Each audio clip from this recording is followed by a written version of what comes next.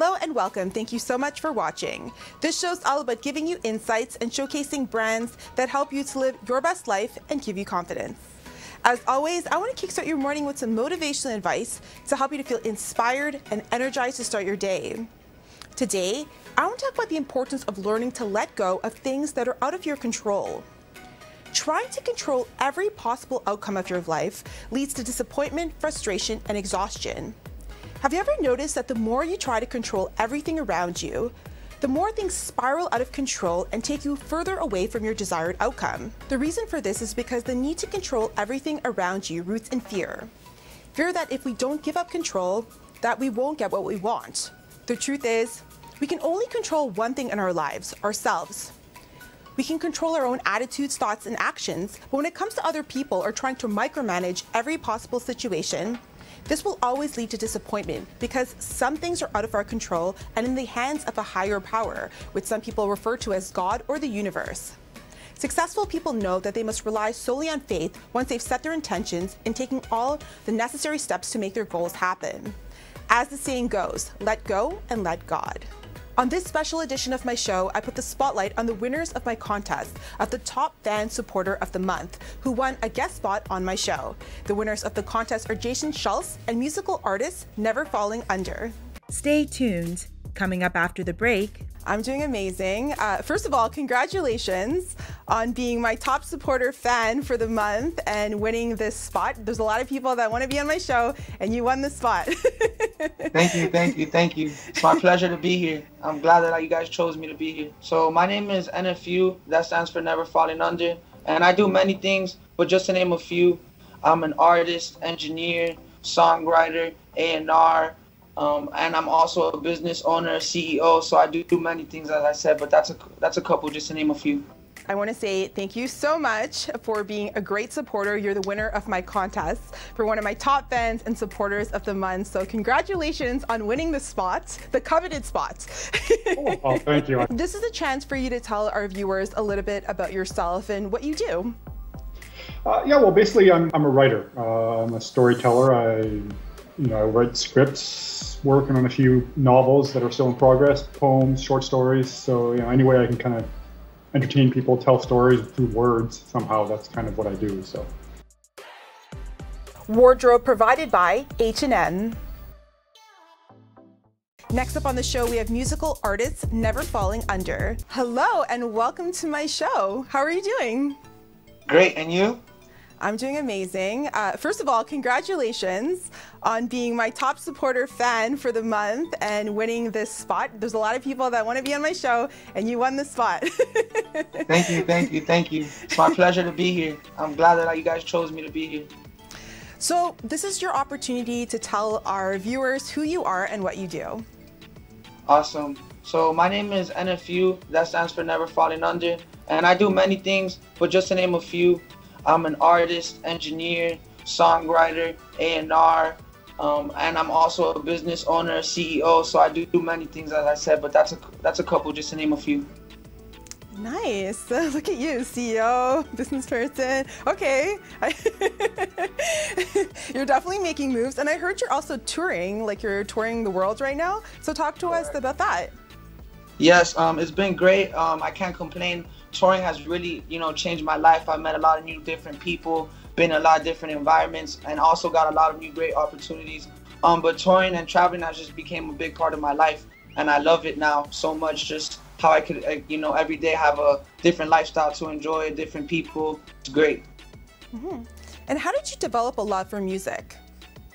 Uh, I developed a love for music. I first started dancing um, I was on America's Got Talent years ago. Oh, okay. So um, in Savannah, Georgia, those were my auditions where at. Um, I found my love through dancing. I got a little injury, and then I started creating music and expressing myself through music, and that's also when I found my love through music as well. But I originally started dancing. Very interesting. And describe your musical style to us. So my musical style is very diverse, but I would say energetic so it's very good for like different audiences and all types of you know energies it's, it's very different diverse genuine you know sound mm-hmm. and what would be your dream collaboration who would you love to work with and why I would definitely love to work with uh, Drake the most, and that's due to Oh. compatibility and the energy we would both have on a record. Um, and I definitely think that'd be great also for everybody to hear and enjoy, like worldwide. Oh, Drake. Okay. Well, we're from Toronto, so. Okay, shout out Toronto. If, I don't know if you see the CN Tower back here. So when you said Drake, I'm I like, do. okay, that's a Shout great out. Toronto. so who are some of the people that you're um, touring with right now? Okay, so um, I just did a 20 city tour uh, with Quality Control and a couple different management slash labels. I'm also now starting on the We Outside tour coming up in July, and that's gonna be with a couple people. Um, just to name a few, BWA Ken, It's Gorgeous Music, um, and a couple different big names that we have a lot of great things going on as, as far as you know with these tours. Mm-hmm. And has, you know, with coronavirus and everything like that, how did you adapt as a mus- musical artist? I know coronavirus has affected a lot of people um, in different ways, especially throughout you know these hard times. Um, but thankfully, I've been able to grind through the situation and also arise from certain situations. But it's been a great way, like for me to stay busy. I've just been traveling and you know working on other businesses, and I also started my own new business. So just doing a lot of different things to stay productive and busy. Mm-hmm. And where do you see yourself in five years? in five years, I see myself similar to a position of Jay Z as far as business and music. Um, I could definitely see myself running a lot of businesses, working with many labels, doing a lot of great things. And, you know, what kind of steps did you take to make your platform known? Because you said you were on America's Got Talent with dancing. So, what did you do to kind of put your music out there? Because, of course, there are so many people that want to do music, but they don't, they're not recognized or they're not taking the right steps. So, what advice for, do you have for them to kind of take their career and make their music known? I would say every creative is great in their own way. So stay great in your lane. And through all the great matters and sacrifices, it'll be worth it. But just don't let anybody stop you from your greatness. But as far as a couple steps, maybe, or like a little formula, just start investing in yourself, start networking more, and build a lot of relationships. Relationships are very important, especially when it comes to this business. Mm-hmm. And you also said you're an entrepreneur and business owner. So, what kind of business do you own? Okay, so my new business is called All You Desire, and it's a catering concierge service. And what we do is we provide different experiences for different crowds and different audiences. So not necessarily only, let's say, for like a boat day if you needed a yacht, but also like jets and mansions and helping you get a venue for your birthday party or helping you run an event or even just getting you security services, bulletproof vehicles, different things that you might need to have a great experience. And one thing that you know stands out about you, I feel like you're very focused. You you look you seem like you're very determined and focused. So you know where does that passion come from? I mean, the passion comes from just going through a lot as far as not only through this business, but in my lifetime. Um, I've been through a lot of hardships. So I believe that when I started living through greatness, and that's exactly what I live through every day, and through music, it changed my life, you know, because everything just seems to just flow more smoother and it just feels better. And also, it just is a little bit smoother to accomplish things. And that's a great feeling, you know? Absolutely. I mean, it led you here, right, on my show. I mean, yeah, I, I love it. I, I've been watching your show for a while. Um, even when you had Nicky Jam and a couple other great uh, people on here, I've been watching it, and I just like to like the purpose, and that's why I like doing interviews like these, because we all have our purpose, and we just need to find what that purpose is, and then help others spread their purpose as well, and then everything else will just, like I said, fall into place with the work of God and with hard work, of course, you know. Absolutely. And that ties into my intro. My intro today was all about, you know, letting go and letting God. Like once you do the work and you set your intention and you're you've done everything, you just have to let it go and trust the universe that it's gonna happen. So that oh, actually totally of ties course. into my intro. Yeah. So You know, it's crazy though, Darriel. I'm sorry to interrupt No, you, no, but okay. I just made a video the other day, and people don't understand that your intentions, your morals, and your principles are gonna take you very far. And what I mean by that is, back in the day, you know, there was a lot more genuineness. There was a lot more love and support. We all need to come together, love, support each other, help each other become greater.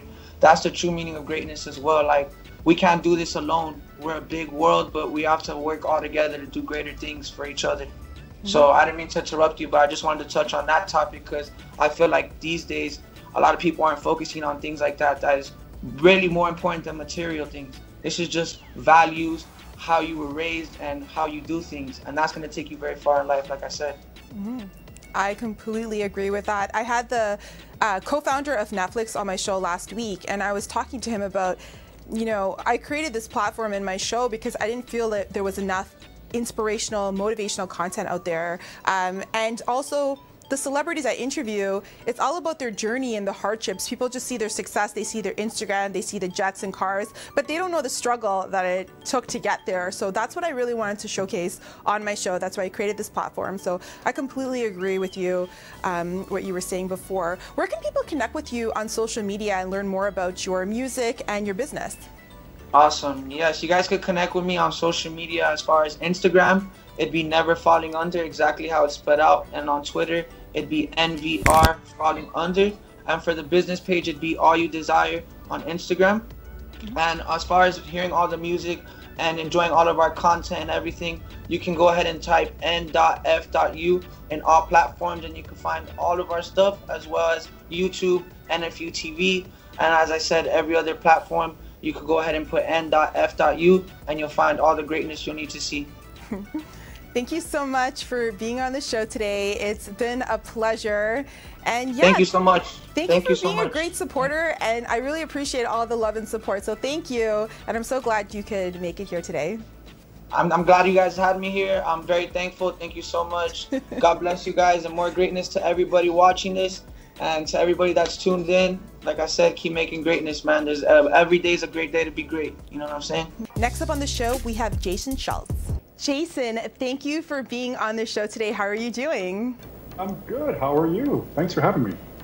I'm doing amazing, and I want to say thank you so much for being a great supporter. You're the winner of my contest for one of my top fans and supporters of the month. So, congratulations on winning the spot, the coveted spot. oh, oh, thank you. I feel honored to be one of your fans. So. But this is a chance for you to tell our viewers a little bit about yourself and what you do. Uh, yeah, well, basically, I'm, I'm a writer. Uh, I'm a storyteller. I, you know, I write scripts, working on a few novels that are still in progress, poems, short stories. So, you know, any way I can kind of entertain people, tell stories through words somehow. That's kind of what I do. So. Mm-hmm. And I know that you're a big movie buff. What's your favorite genre to write, and what are your, some of your favorite movies? Uh, well, I kind of mix and match a bit. I mean, I, I write a lot of like specific genre films, like sci-fi, action, horror, but I always add a bit of comedy in anything. So I don't like anything that's too dark and serious all the time. So I like to mix things up with a little bit of laughs and stuff like that. Um, favorite all time is Back to the Future and Casablanca. So I mean, that kind of gives a mixture of who I am storytelling wise. Nice. And I know that you made the decision to go back to school um, recently. And so talk to us about that experience and, you know, what are you planning on doing after you finish school? Yeah, I went back to uh, focus on film study. So it's a mixture of film theory, uh, which kind of gives me a better idea of themes and you know deep diving into movies, and then also some physical, actual filmmaking uh, abilities and skills and tests as well. So it's I've always loved film, but I've never really had any of the education for it. So I wanted to do that, and it, it helps me find connections in the industry out here. Our industry in this little city is starting to boom. So I'm hoping that in a year, year and a half, when I graduate can either lead me, you know, to making connections with people working in films, or have people actually want to make my films at some point. So. Mm-hmm. Yeah, definitely. And what's your creative process? Because I know I, I, went to school for journalism. I'm a journalist, and writing sometimes, you know, sometimes you have a writer's block. so what's your creative process like?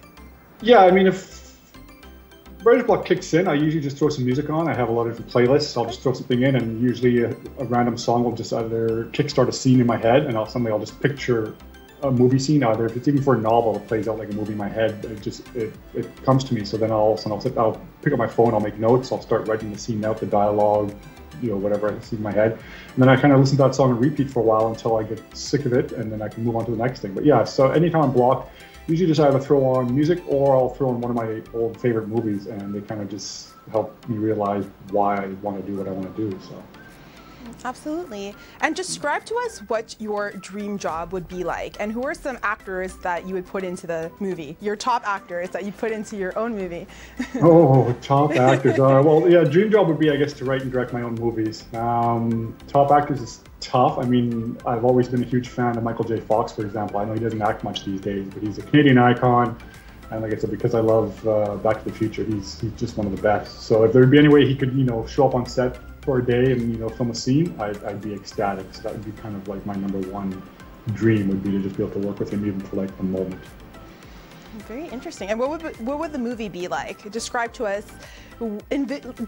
Let us envision what the movie would be like that you would make. well, I mean, right now, I mean, if we're going for what I'm aiming for in the near future, script I just started now, it's kind of a unromantic comedy, I guess. It starts okay. off with a couple breaking up, and then we kind of flash back throughout the whole relationship, how they met, how they got there, and we go back and forth between them.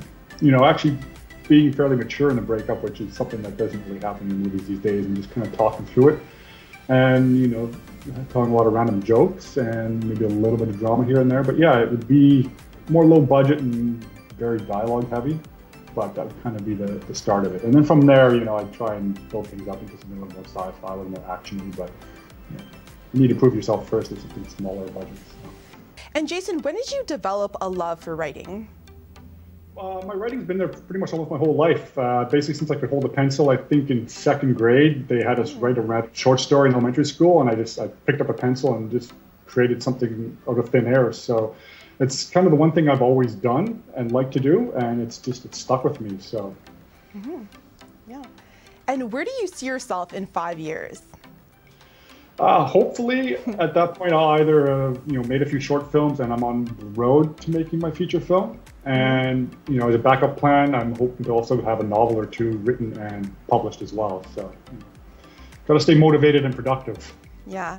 And I know in a lot of your posts, you write a lot about, you know, being shy and that kind of thing. So, you know, what advice do you have for people to put yourself out there, even if you are shy, to put your work out there? It can be tough. I mean, yeah, I'm an introvert and I've had my issues with shyness and I guess self doubt. And so the first few times you try and put anything out there, it's it's terrifying, especially if you don't get also those immediate likes from anybody, and so it looks like everybody hates your work. but you just got you just got to keep doing it. I mean, you, you, will always be your own worst enemy and you'll be your harshest judge. And I mean, all of a sudden somebody else will like it and they're like, this is great. And I'm like, oh, okay, well, you just got to give it time. So, and just keep putting it out there because there, will always be somebody that responds. It doesn't have to be everybody because you'll never make everybody happy. But if you can make even one person happy or entertain them, then that's already satisfying enough. So. Mm-hmm. Yeah, it's, it's very true. Putting your content out there, I, I know when I started, I would always be nervous. I'm like, should I post this? Should I not? And then after a while, you're like, you know what? This is good content. I'm going to post it no matter what. And when you feel like that, people will like it because you're you're fine with it. So it's like a, the law of attraction. You're just attracting people to like it because you're confident with it. So I completely agree with that. and you can't you can't tell stories if you don't ever share your stories or people. I mean, if you keep them for yourself, that's great. But either way, you're going to have to just you know take that leap, and then there's no turning back, and that's that's the best way to do it. Just put it out there. Absolutely. And where can our viewers connect with you on social media and learn more about your work? Yeah, Twitter, uh, Instagram, and even YouTube. It's all at a dry cool wit, and I usually will promote any of my work there. If I have any specific accounts for my work, uh, I'll link to them as well. So yeah, Twitter and Instagram is where I'm most active. YouTube, there's a couple things, and hopefully in the near future, I'll randomly post a few more other video essays or podcasts on there as well when I have spare time. But mm. Amazing. Well, thank you so much, Jason, for being on the show today. I'm sure you're going to be a massive success. Oh. Uh, you're a great writer, and thank you again for all of the support over the years. I really appreciate it, and I'm glad to have you on my show. oh well, you're very welcome. Thank you for having me. It's, it's, it's, this is a new experience for me, and I'm honored. Great. Tag TV is available on Roku, Amazon Fire TV, Apple and Android TVs, as well as on Apple and Android phones. Watch us live through YouTube and Facebook.